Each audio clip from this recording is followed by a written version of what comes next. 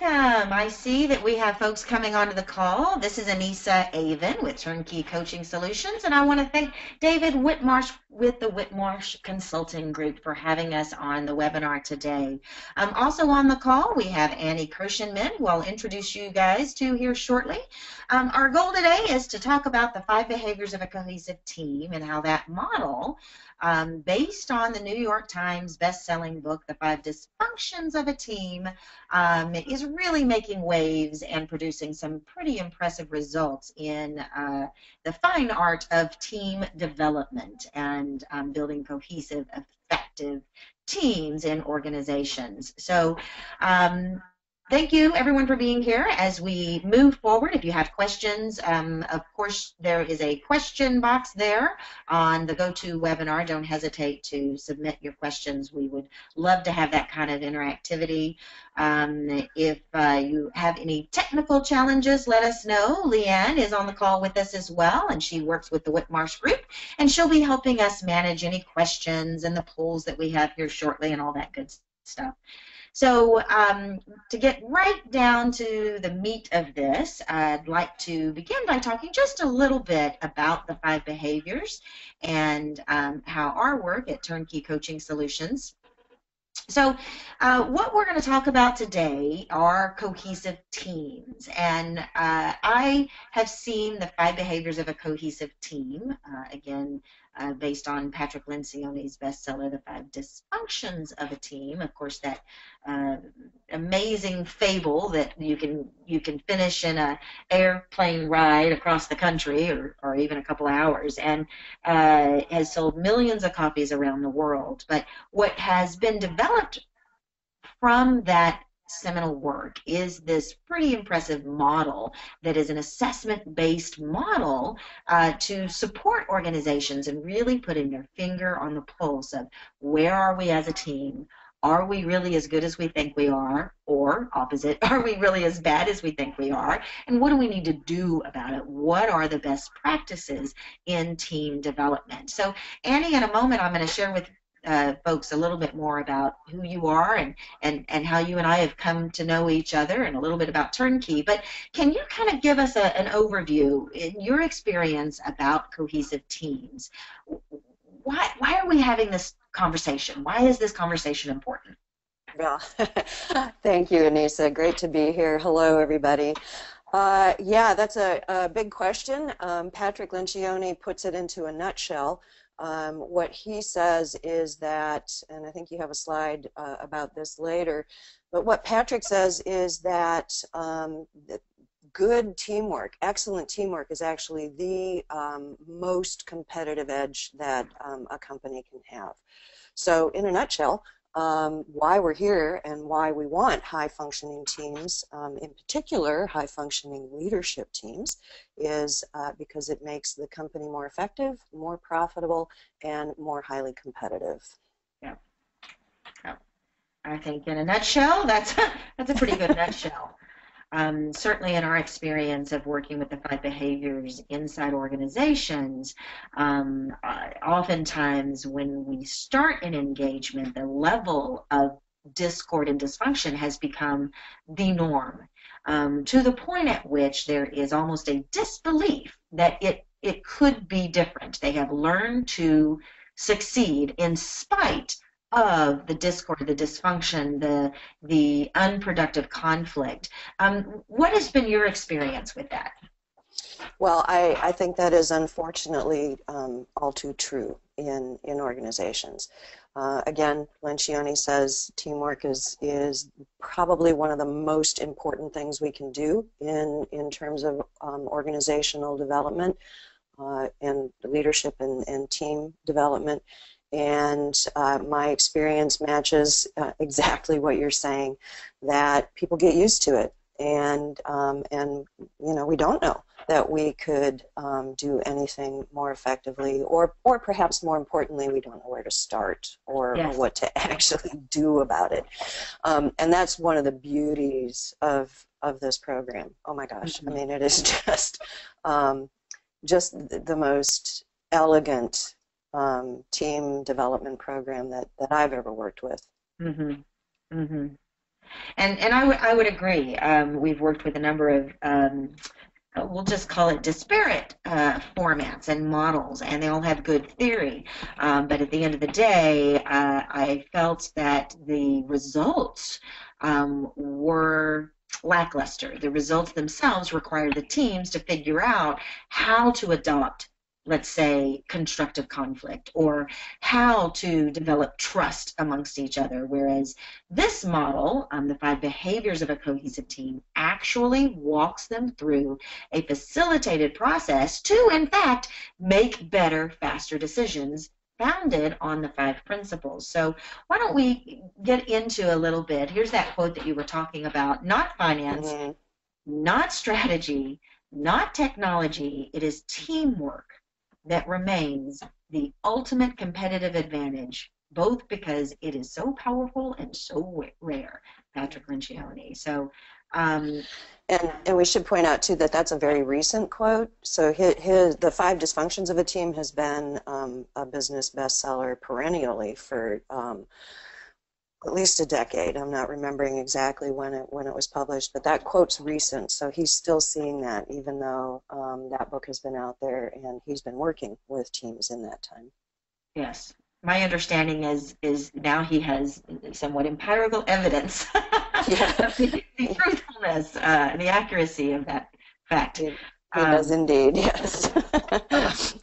So let's talk a little bit about our goals for today. Um, we've got a number of folks on the call. If you're just joining us, thank you for joining us. This is Anissa Avon, and I have on the call with me Annie Kirschenman. And um, so we're going to learn about the five behaviors of a cohesive team.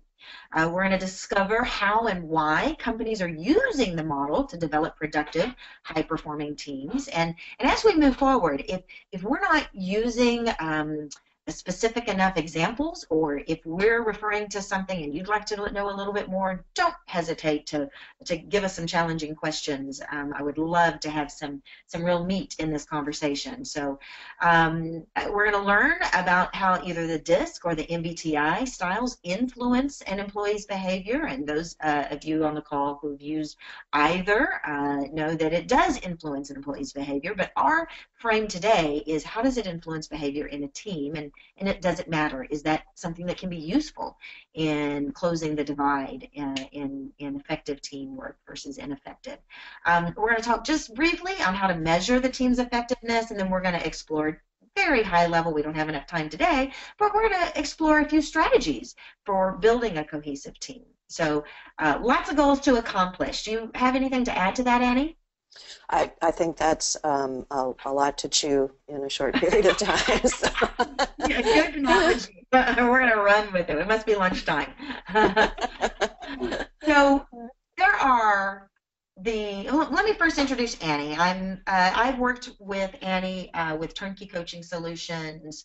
Um, gosh, at least a decade now. Yeah. Um, I can't even remember, but it was maybe 2004, 2005 when we first met. And mm-hmm. Annie uh, has worked with a number of Turnkeys clients and always gets the, you know, the 4.9 and 5 point rating on her training and executive coaching program. So um, anytime I'm, I'm privileged enough to have you on a call with me, Annie, I feel like I learned something. So Annie is a board certified coach. She has 20 plus years of business and leadership development experience. She's a former CEO herself, um, decided to make a transition into the, the learning and development and executive coaching and training realm uh, and has been actually training and coaching since the 1990s.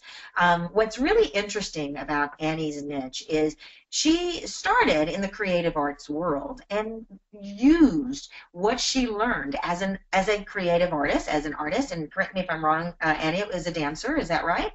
Correct. Yes. Yes, as uh, as a professional dancer in her background in the creative arts in that way and used that knowledge and now has a thriving practice teaching organizations how to be how to bring forth innovation creative thinking um, and still manage risks inside uh, various uh, and varied industries. Um, she is an accredited facilitator for the five behaviors of a cohesive team and one of the rare few across the world that's actually been using the program month after month since its initial launch in 2014. Anna, you were even a part of the beta, pro beta program proving the model. Is that accurate?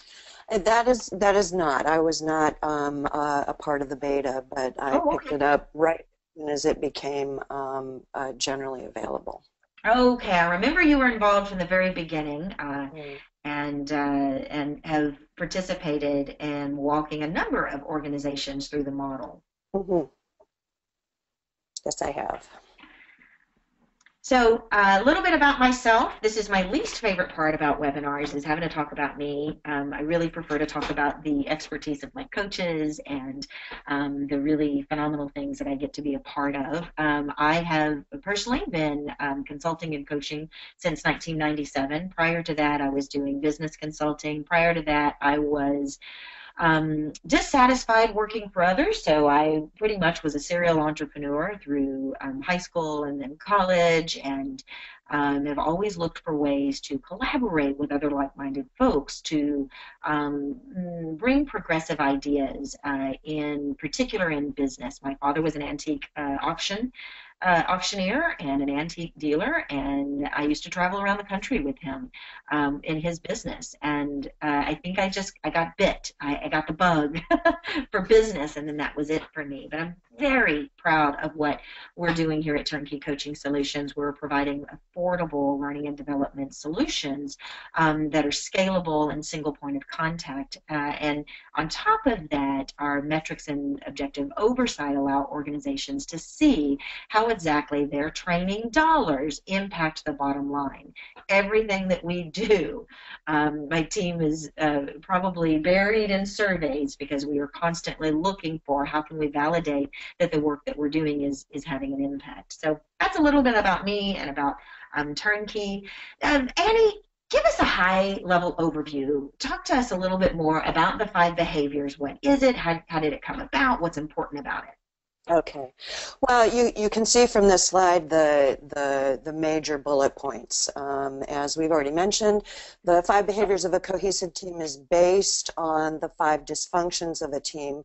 Uh, What is new about this, uh, if uh, people are familiar with uh, the book, Five Dysfunctions, or perhaps you've even worked with um, uh, some of the training programs that were um, initially based on the five dysfunctions by the table group or um, generally available. Uh, this has taken the model and it's kind of flipped it into um, uh, what competencies are we actually attempting to develop on, on the team. So it, it puts it in a frame of uh, not so much dysfunction, but what's the what what do we need to do in order to be functional? Uh, Patrick Lencioni was, um, of course, in the center of developing uh, this program, so it has uh, all of his knowledge uh, and um, experience from five dysfunctions of a team, plus um, the uh, expertise that Wiley uh, brings to bear in, in terms of uh, creating assessments.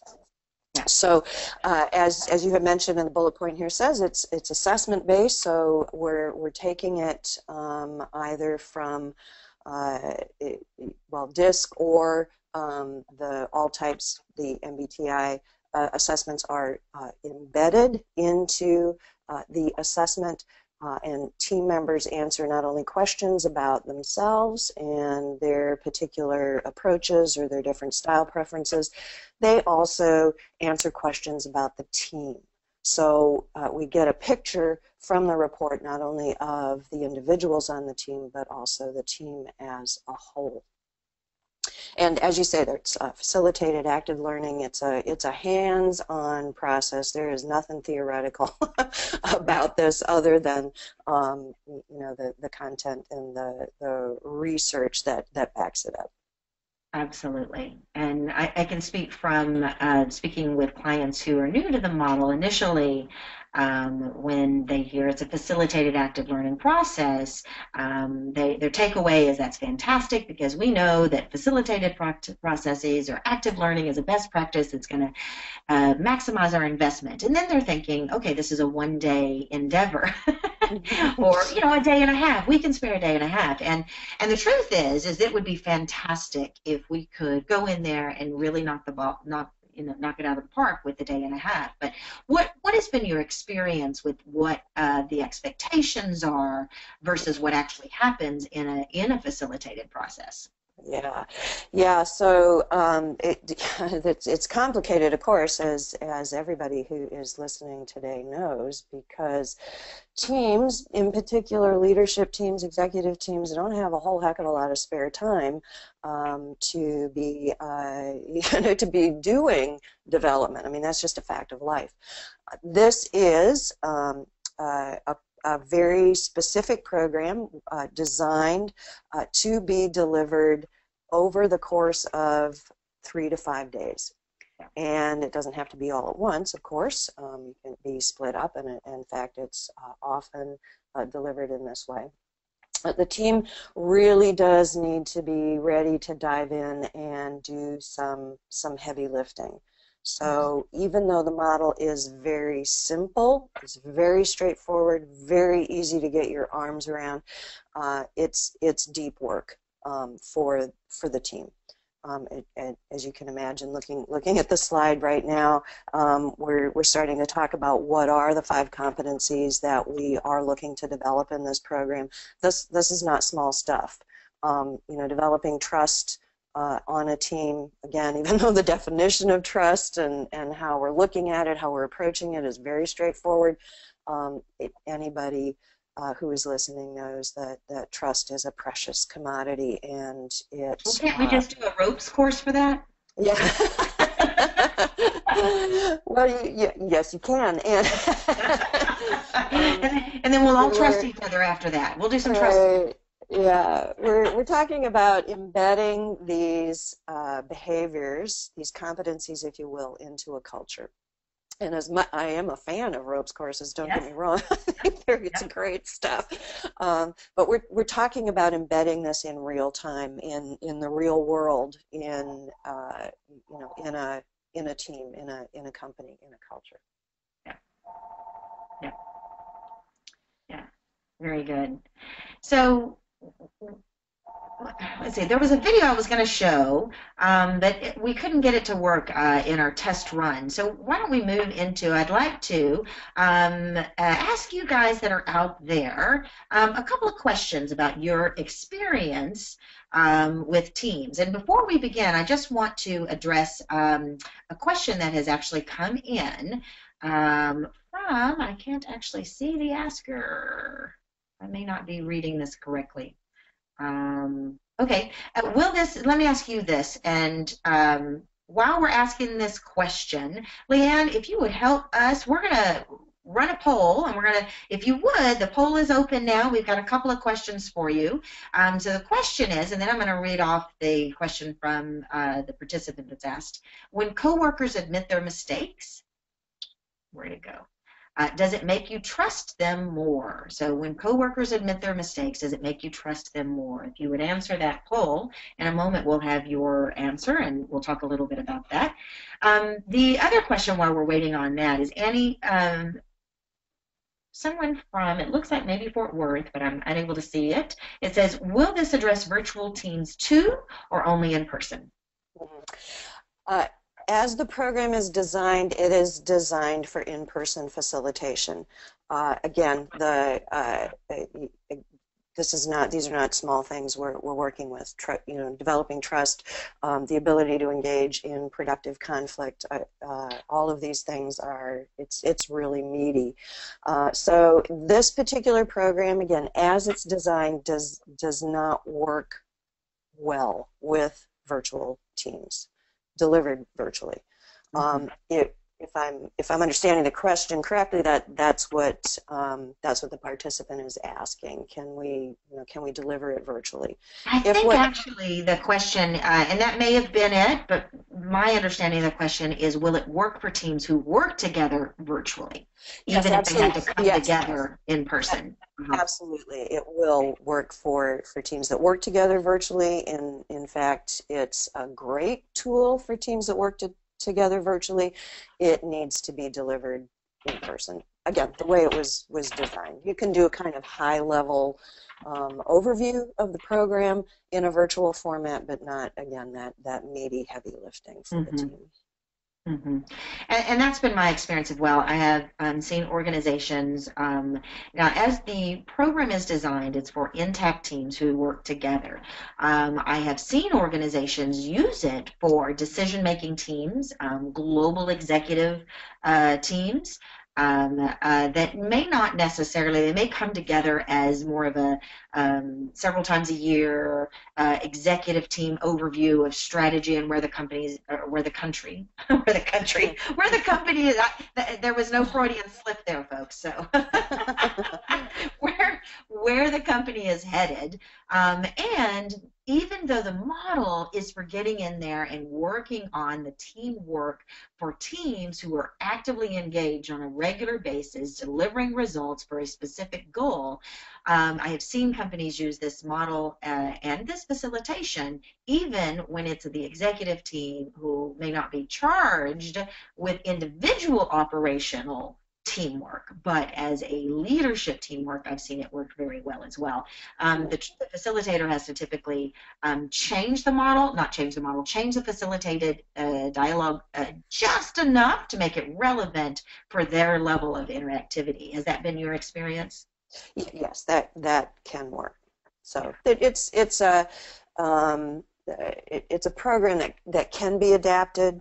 Uh, again, I'm I'm speaking to how it was originally designed and and um, in in my opinion as well as in the the research that's available on it delivers the most impactful results. Yes. Yes.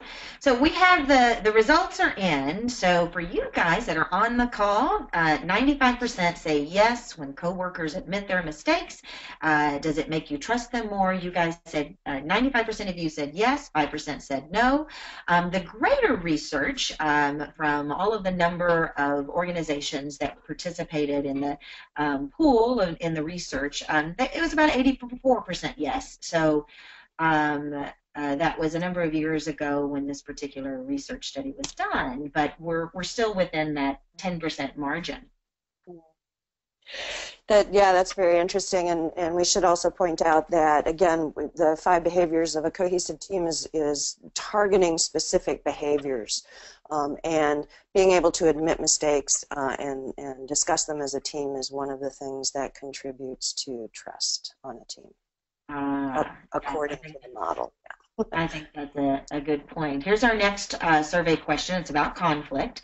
Do you think your workplace would be more effective if people were more frank with their opinions?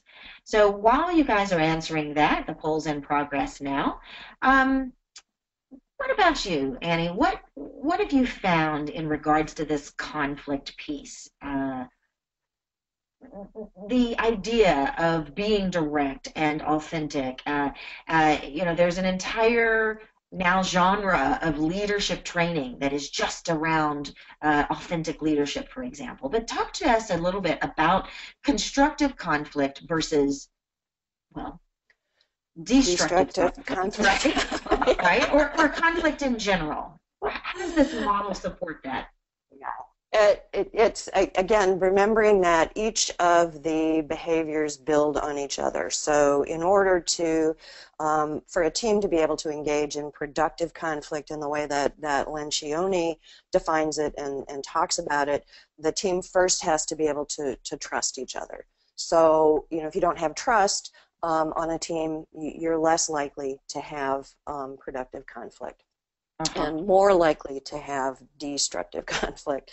Um, one of you know the things that that Lencioni stresses and that we work uh, a lot with in uh, the facilitated training is focusing conflict and the discussions um, or the debates, if you will, around ideas. So uh, you know it's it's not about it, it's not about conflict between people, it's about a healthy debate of, of ideas.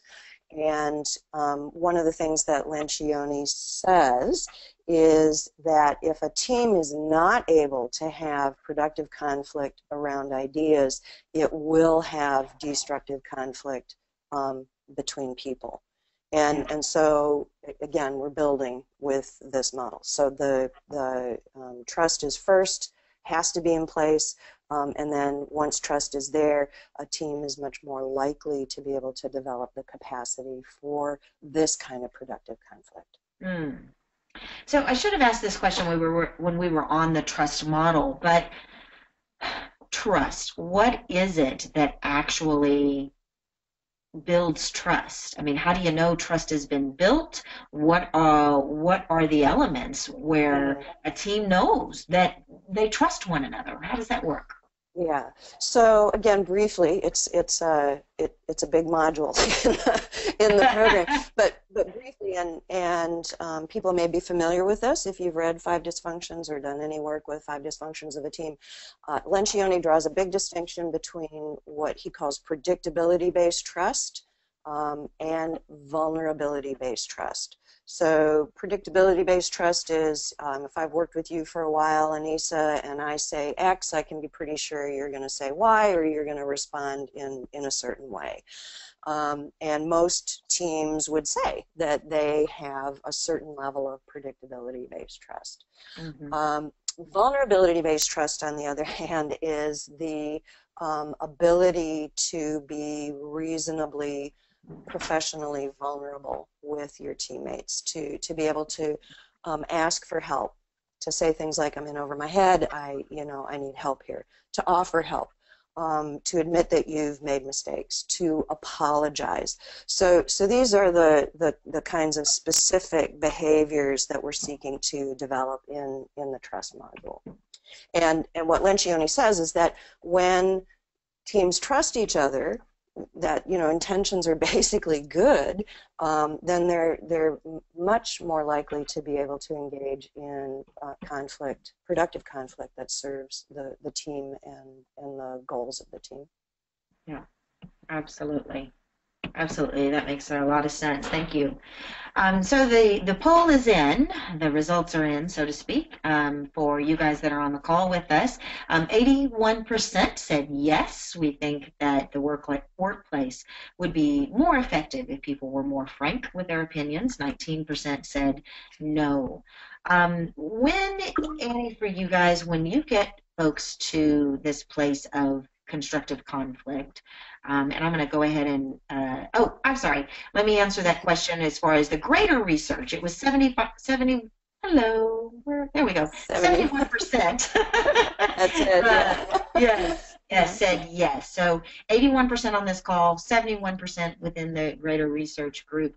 What has been your experience when teams find a way to be frank and still respectful, to speak their speak and have conflict around ideas. What what happens to those groups? Oh, it's it's stunning. I mean, they are uh, not only so much more productive, they make much better decisions because the, the team has the ability to air all their thoughts about it, all their ideas. Uh, and it, it's, it, of course, when you have more uh, thoughts and ideas on the table, there's more to choose from. Uh, there's, you know, a, a, a, much greater percentage of decisions that are going to be that are going to be better, better decisions. Mm-hmm. So this is really, really, again, it's really important to the model that people are able to express their opinions. Um, uh, most of the teams that I've worked with around this develop um, uh, uh, uh, well, they refer to it in different ways, but let's just call it a conflict culture on the team, where when a when a major, especially a major decision is being debated, they have a uh, a culture, a credo, if you will, of, of no passes. Mhm. You, everybody on the team must weigh in with, with their opinion, and they and Mhm. a lot of teams do that in a very you know systematic way, going around the room, for example. Um, but it's uh, it, it's a really it's it's the ability to do this now, it, of course, makes it, it possible for the team to do the other behaviors in, in Yeah. the model. Yeah, I, I, I think that's uh, um, well said. We um, there was a comment from someone who's on the attendee list, and and they said regarding uh, this question, my team is already frank, so my vote is more NA than no. Any more frankness, and there would be conflict. Uh, Yeah. what- how do you work with teams who, perhaps, if we were to talk in the DiSC language, IDs, driving for results, we're going to speak our mind. You guys just need to get on board because we're going to get things done. How do you work with teams that, and, and I see a lot of, frankly, uh, leadership teams who have um, a, a- aggressive or assertive, aggressive isn't the right word, assertive individuals who are very frank. Um, Mm. And yet, what happens to those other members of the team who perhaps are not as direct or forthcoming in their immediate opinions? What happens to the effectiveness or the productivity or the, the collaboration process for the other members of the team? Yes, well, there's a lot that could be said about that. I, I, I think what Lencioni would say is that the, those teams are not engaging in productive conflict. So the, the, one of the um, tools, if you will, or, or concepts that we use in the conflict model uh, module is what Lencioni refers to as the conflict continuum. And so there's two extremes on that continuum, just to put it simplistically. One is artificial harmony, where Mhm. nothing really important ever gets talked about. And the other extreme is what, what I think our participant is referring to is that people are just really mean spirited and you know, it's kind of hell, if you will, in a, in a team meeting. So what, what we're looking for here is to, is to, for a team to live right in the middle of that. So, you, you know, there's uh, enough trust and and enough respect that that te- people can you know speak speak their opinions know they're going to be heard um, they are going to be respectful f- for the most part um, and uh, you know so we're developing the capacity to live in that center place of, of the continuum if you will Wow. Uh, and you called that the um, the, continuum conf- of the conflict continuum is, is how Uh-huh. Lencioni refers to it that work with teenagers. Sorry. I've never done this program with teenagers. a whole new, whole new experience. Um, well, we have uh, an, another question I'd like to um, pose to the group for the survey. And, and while you guys are answering this question, um, we have a number of questions that have come in um, for the participants that I want to read off to you, Annie. Um, okay. So this is a this next survey question is about commitment. Um, do you sometimes feel that team projects suffer because people aren't committed enough? Do you sometimes feel that team projects suffer because people aren't committed enough? So um, we're going to open up that poll as well. Um, there you I go. see it coming in. Yeah. Oh, good deal. Mm. Um, so, uh, Annie, I want to ask a couple of questions. Um, Sure.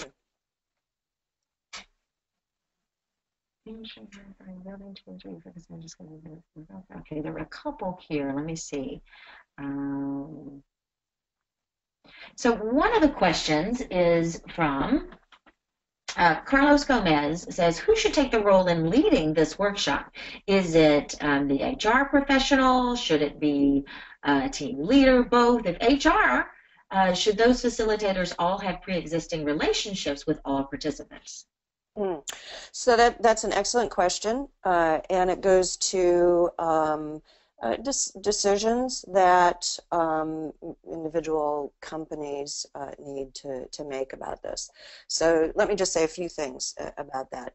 Uh, it is not a recommended best practice for the team leader to facilitate this program.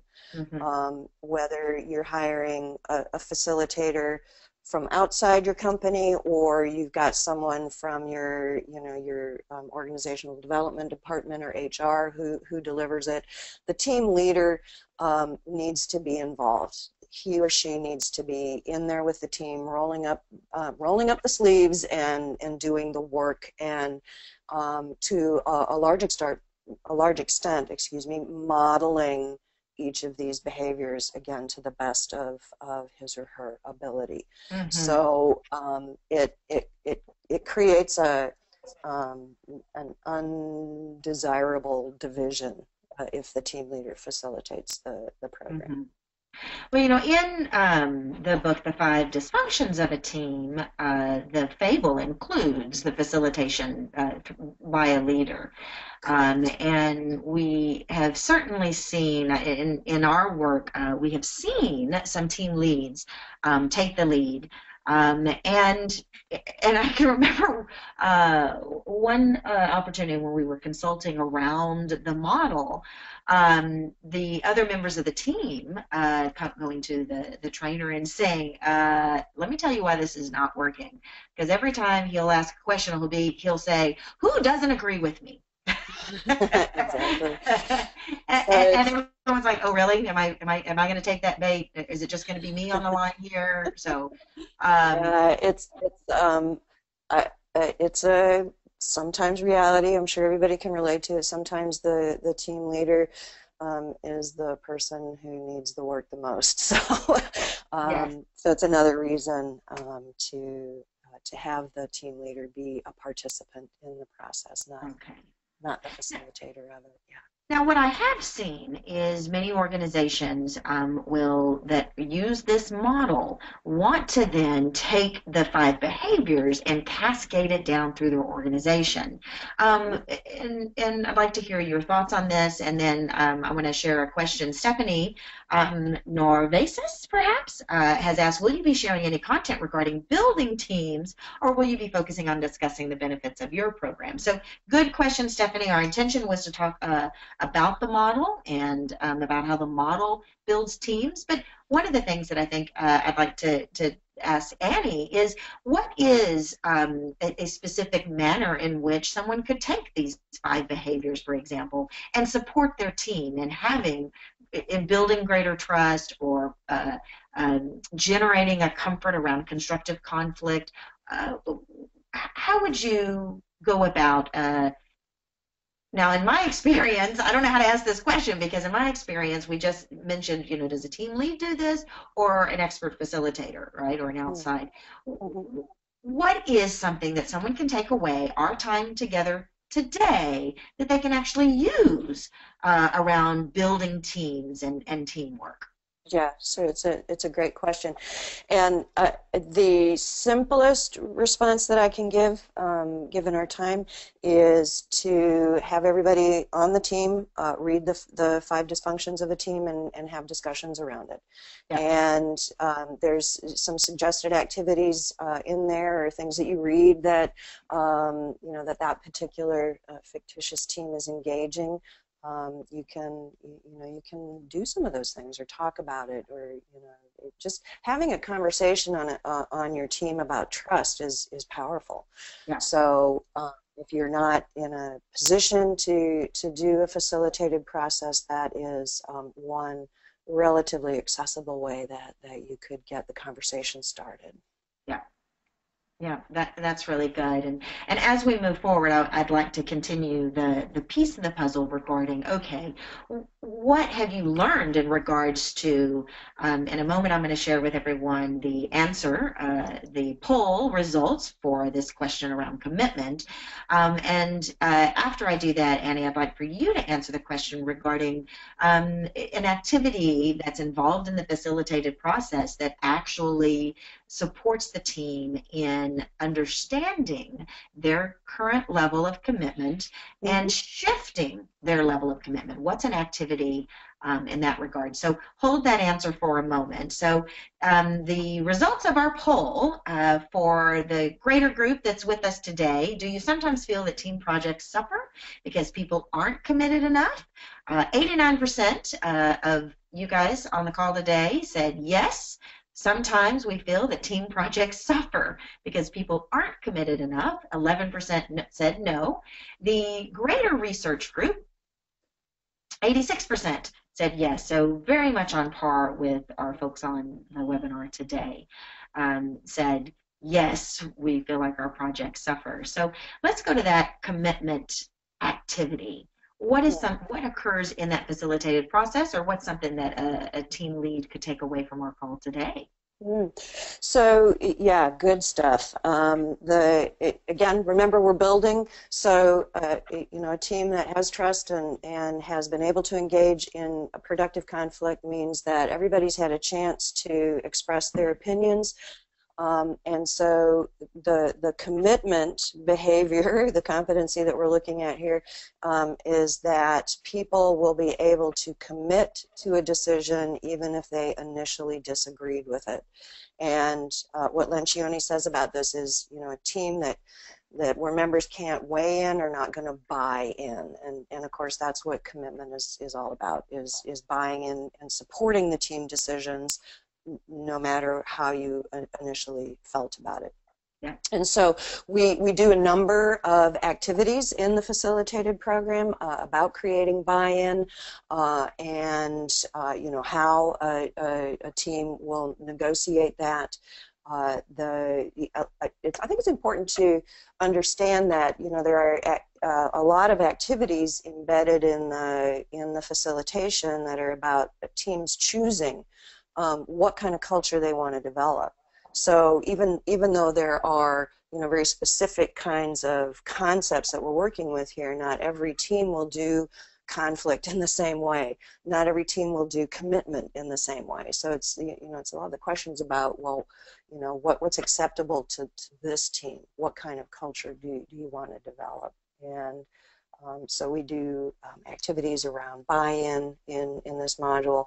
Uh, we, we discuss as a team how do you want to seal the deal, how do you know that everybody is on board and you don't have someone who's harboring um, some you know, unexpressed uh, opinion.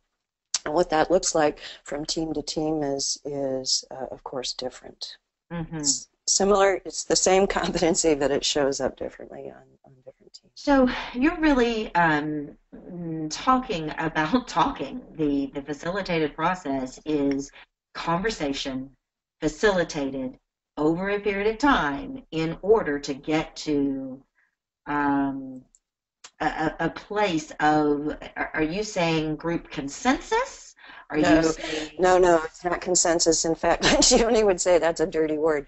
Um, okay. commitment is not about consensus. It's about buy-in.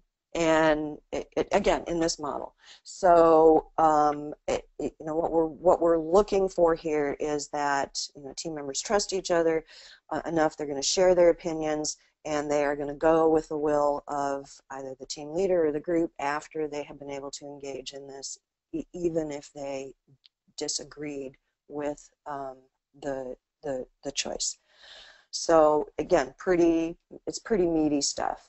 Um, mm-hmm. But the the book talks about it, um, five dysfunctions of a team, and and again, if if you know there, there are people on the um, uh, webinar today who who want a starting place, I, the book is the go-to place. Mm-hmm. You can have some great conversations um, around mm-hmm. the the story in, in the book you know and and um, so we're gonna we're gonna ask another question in a poll um, and while we're doing that Annie I want, I want you to think about uh, there's been lots of team building training ideas mm. right and trainers who go out and their entire job is to break down walls and and support uh, a team in becoming more productive. And um, I have a, a, trainer who does this incredible on the golf course team training event. I mean, it's mm. it's an incredible, Yummy. right? It's a full day of golf and a full day of leadership development, and by the time they're done, they have you know the perfect tan, and you know they've just really come together as um, so what's the difference in, say, a team building activity like golf or ropes, uh, a ropes course, or you know any number of activity, and the outcome of that versus an outcome of, of this dialogue that you're talking about. I mean, I'm not hearing you say, "Hey, we're going to get together and we're going to build an, a roller coaster out of marbles and paper clips." nope, that, right? that's not a part of this program. And and not to diss any of that. I, I love all that stuff. That is so cool. And I, and I think it's effective for what it does. It is effective. Yes. Absolutely. So you know, like anything, this is a very specific program with a specific kind of application. And um, it, it depends. You know, the answer is, well, it depends. I mean, what what does this particular team you know what's going to be most impactful for for them and maybe maybe it is a ropes thing or or a, a, the fabulous golf thing that, you, that you're talking about Seriously, and yeah. and and maybe it's this so you know we have um, uh, some questions that we typically ask the the team leader hr um, you know to see whether or not this is a fit for for the team or teams that that they have in mind and it isn't going to be a fit again, the way it, it's designed, it, it wouldn't be a fit for everybody.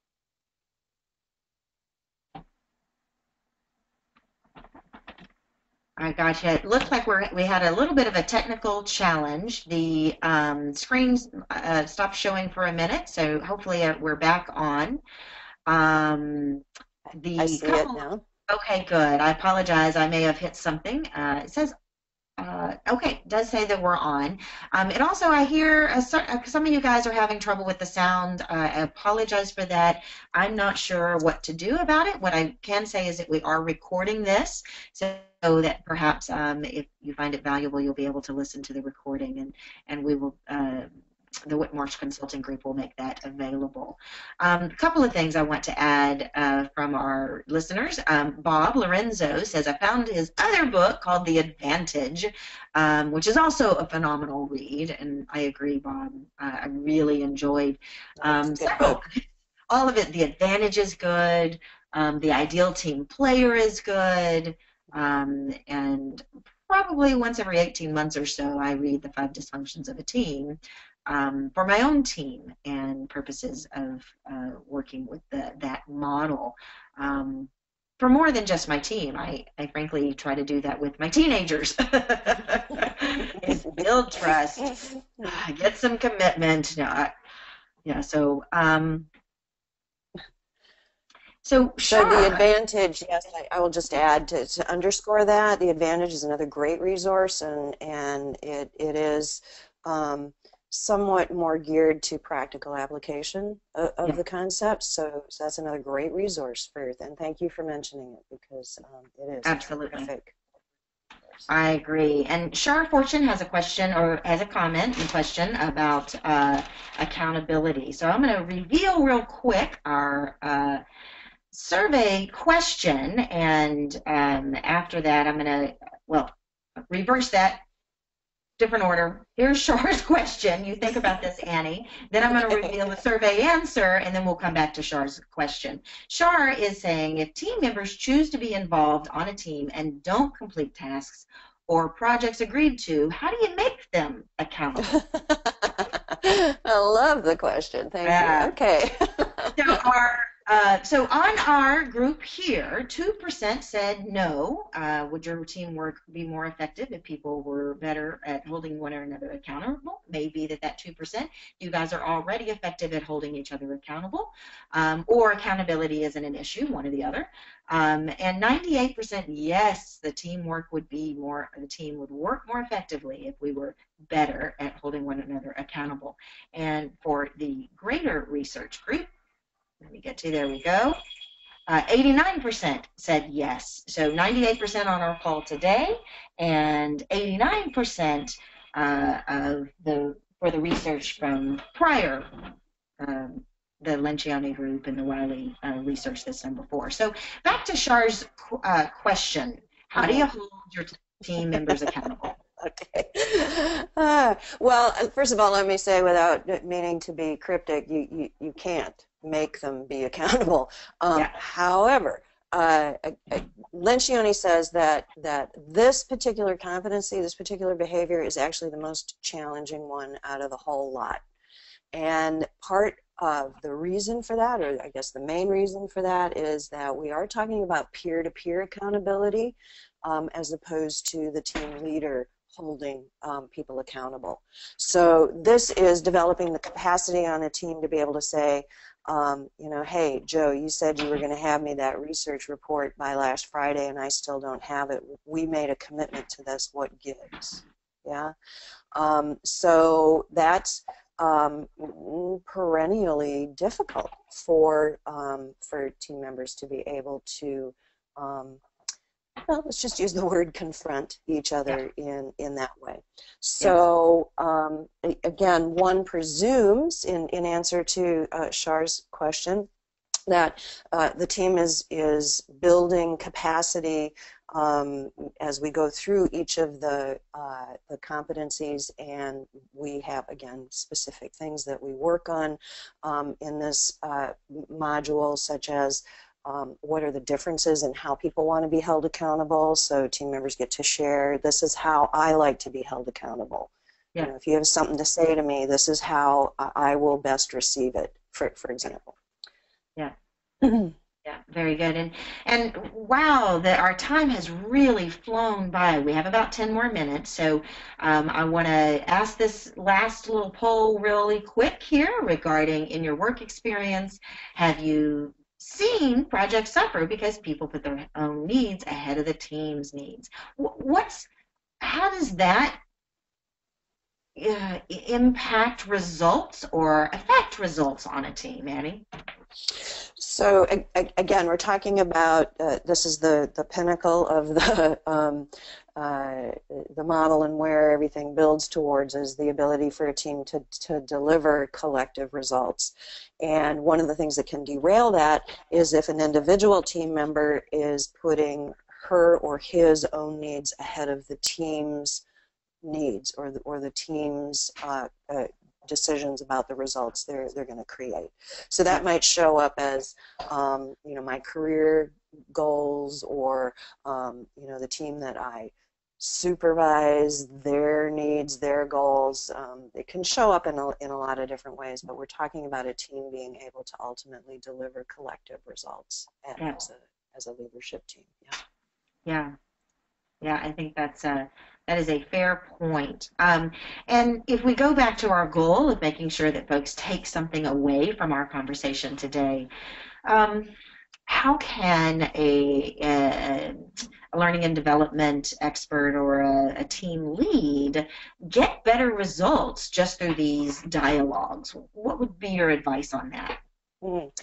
Well, uh, concretely, one of the things that really helps uh, teams to uh, deliver collective results is to have their goals um, and their objectives um, highly visible uh, it, so that every time the team gets together, they're actually looking at it, whether it's on a screen or a wall or some, you know, in the conference room, um, and and that you know every member of the team can see it. Uh, for example, they can do uh, a report out where they are in their particular, um, you know, uh, areas where they're helping to deliver on the results. Uh, that that would be again in the short time that we have a concrete thing um, yeah. that I've seen a lot of teams do that is really, really helpful. It yeah. immediately focuses the team on the collective results or goals. Yeah, yeah that's a, a very good uh, point. So here we go. So for the folks on the call, 94% have said yes in your work experience. You've seen projects suffer because people put their own needs. I think that's a, a pretty telling number, 94% perceive that other team members are putting their their personal needs or their divisional needs or their operational needs ahead of the purpose of the team and, and the work that needs to be done. Um, I think that says a lot about the, the final five, fifth behavior of, uh, the, of this model. For the research, um, it was 87%. So um, for us on the call, 94%, and the research said that 87%. So um, it, you know, no good webinar is ever really complete without a Steve Jobs quote, right? great business. Are never done by one person. They're done by a team of people. And um, so, in your experience of these behaviors and walking uh, a team through, what is it that why why is it important for a team to get a snapshot of where they are in regards to trust, conflict, commitment, accountability, and and how does the the assessment come up with these this input? Mm. Well, uh, the short answer to how the assessment comes up with this is it's a series of very complex algorithms based on um, how team members respond to the sets of questions in, in the assessment. And there's a, an extremely comprehensive research report that's been developed on it that um, certainly can, can be provided to anybody who wants to take a deep dive in, into that. Mm -hmm. Um, this is a, a, a, snapshot of one of the pages from the report that uh, team members get. And uh, this is the uh, collect. This is a sample of the collective results of the, the how the team rated itself on mm-hmm. each of these um, different uh, competencies based on how they answered the questions. And we mm-hmm. see it up front. It's it it comes early in the report. And in, in my experience, um, it is rare for a, a, team first time out of the gate to have any green. I mean, you can see here um, that uh, low, the ranges there, low is uh, represented in red, medium in yellow, and green in high. Um, and uh, so it's a sort of a, a, let me just call it a sobering moment for, for a team to, to see those results all in in one place and um, uh, in my experience anyway highly motivating for, for yeah. a team yeah. Um, because you can see from a, a fairly objective point of view uh, where a lot of the work needs to be done Absolutely. And uh, how does the, the progress report support culture adoption? What is it about um, the comparison of when they first started the team development work and where they land in six months and 12 months and 18 months? What has your, been your experience with teams taking the model, really adopting it, and then mm. seeing the results of whether or not they're making the progress they think. Well, it's a, it's a big celebration, woohoo moment. I mean, it's yeah. it's really um, again because we're we're saying this is a meaty program. It, it takes work, it takes practice. We're we're talking about changing behaviors, and to be able to see this like this example here, this side by side comparison. You know, wow, we really um, we, we really did some work, and and it's paying off. I mean, you, you know, look at that and and it also um, shows hmm, now maybe this in this particular example of course where the, the accountability is still you know in the low range then we know uh, as a as a team um, this is where we still have some pretty um, pretty in-depth work to do in, in developing this competency. Yeah, yeah, I agree. And I know we're coming up to the end of the hour, and for folks who've stayed with us, I want you to know that um, we will have the recording available, uh, and if we can go over just a few minutes, uh, we can talk a little bit more about why does the program use um, the DiSC. Why is that important? How is that, or MBTI, the all types, why is that effective in this training? In in a nutshell, what it, it let, let, me just say, when I facilitated this program, uh, it's when this get this lands on the table that light bulbs really start going off for people. Interesting. Um, so uh, the the assessment and the report um, uh, allows people to know not only what their own uh, style preferences are, how they prefer to approach um, their work, uh, and it lets people know how other people might be different or, or similar to them.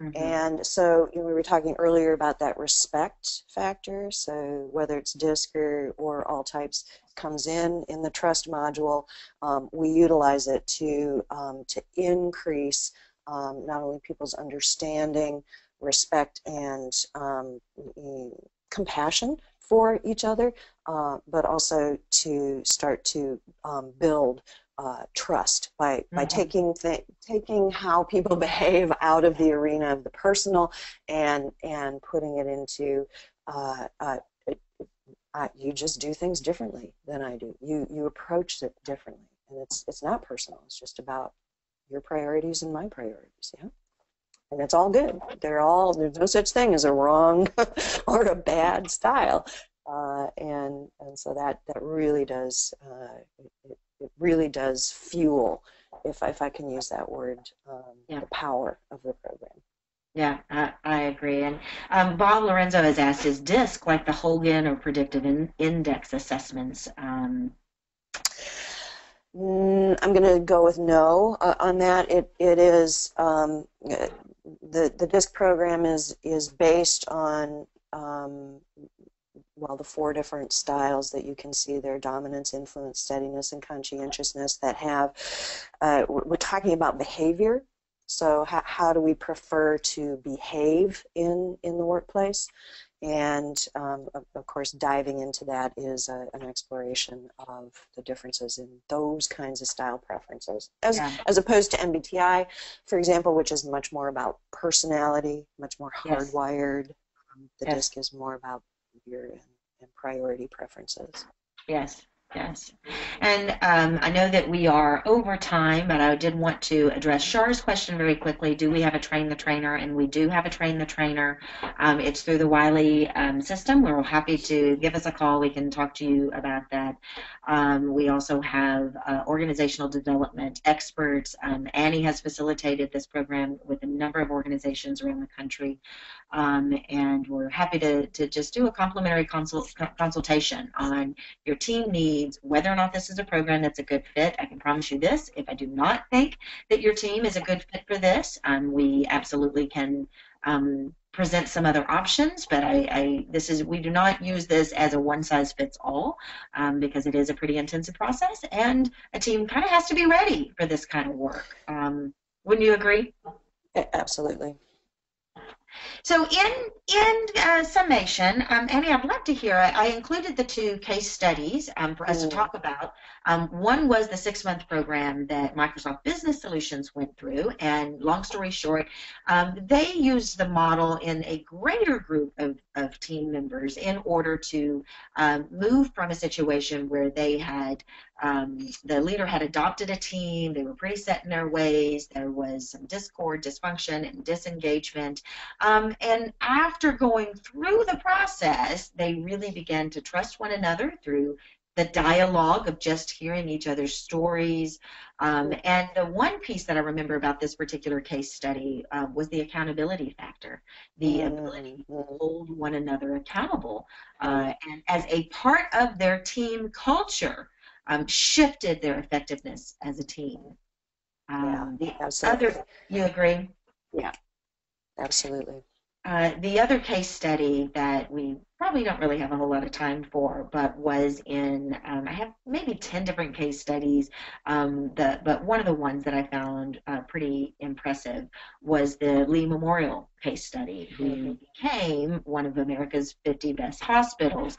They used the five behaviors of a cohesive team. They had incredible customer service and high level um, uh, patient care uh, survey results, but their team results were very down. Um, team members and employees were disengaged, unhappy at work, uh, felt drained at work, um, and the HR surveys indicated that they their their teams needed attention, and um, they still use it to this day, and have said that it's transformed their culture. That years after, going through the process of adapting and, and modeling the five behaviors that the t- that the organizational culture um, uh, that other members, uh, other executives and employees from other departments now go to this department, it's the radiology department, uh, to see what they're up to and how they're doing it. Yeah. So pretty powerful uh, stuff.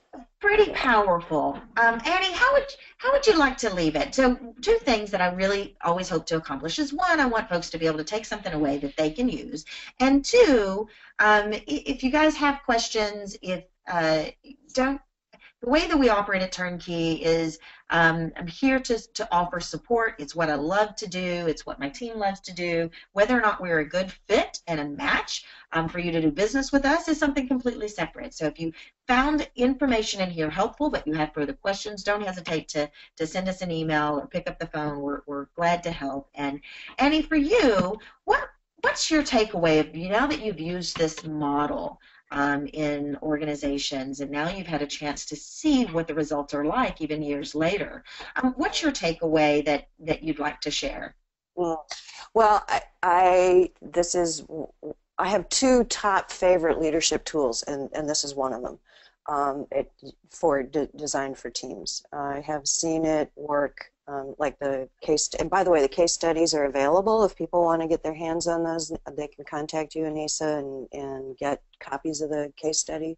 Absolutely. Um, so just know that those are available and they're really interesting. Uh, it, I've seen this work absolute miracles uh, on a on a team. I um, I had one team that the team leader came up to me after uh, we did one day um, on uh, introducing the model, the DiSC, and, and trust. And she came up to me uh, at the end of the day, and her eyes were kind of misty, and she said, "Wow," she said, "you have just really given me new hope for my team."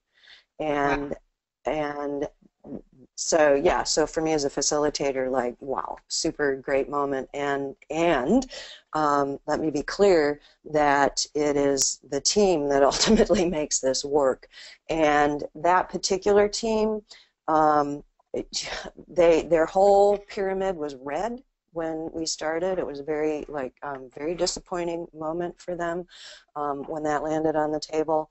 In uh, a year, they turned that team around. Um, they uh, created a uh, culture, a five behaviors culture on their team, um, and even when they were bringing in new members, they in, they were um, you know they were told this is this is the culture you're going to be expected to operate in, um, and they within a year they turned their whole pyramid green. Wow, yeah, very. And but again, they really they really they did do a lot of work. work. They did yeah. the work. Yeah. I've certainly seen um, organizations that have gone from red to yellow and a few greens. Um, I will look forward to the day where I see a team go all the way to the green. Oh, green, yeah. It's rare because it does take so much work. And um, but I, I, am so I've learned so much, Annie. Um, and um, for everyone that was on the call, we value your time. It was a pleasure to have you with us today. And Annie, thank you so much. That was a lot of fun. I hope we get to do it again. Absolutely. Thank you. Great to thank be you. here. And uh, David Whitmarsh with the Whitmarsh Consulting Group and Leanne, we thank you as well for sponsoring the event today and appreciate you. So thank you, everyone. Let us know how we can support you.